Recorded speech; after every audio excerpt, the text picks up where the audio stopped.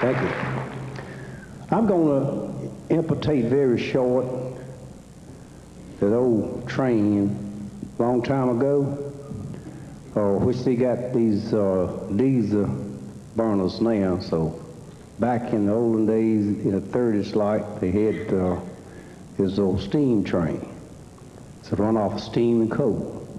So when she builds enough steams up, she begin to move off and sound something like this.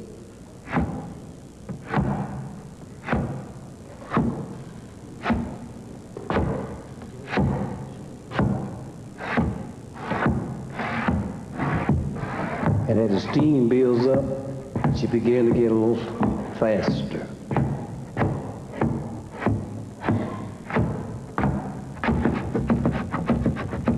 She get that speed, she be going on down the road.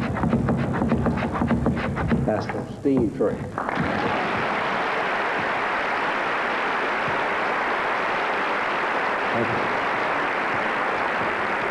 Also, I got a very short story about a T-Model Ford.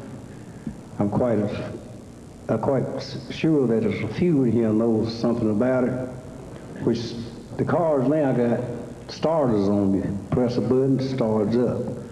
But old was a car that you have to, had a crank that you had to turn to crank it, and then to get it going. If you didn't do that, you had to push it off. So it had no stars.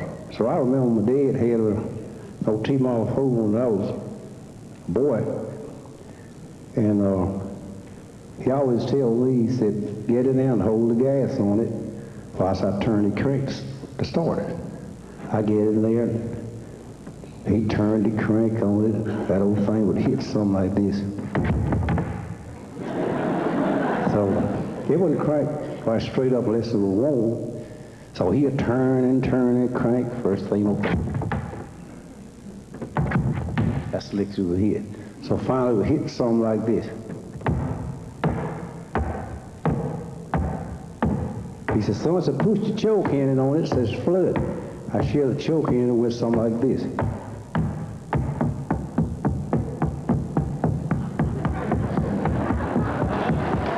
He said, that's very good. He said, now to slip over, he said, and let me pull it out of the shelter man. So I pushed myself over on the other side, and he came out the shelter, and they would sound something like this.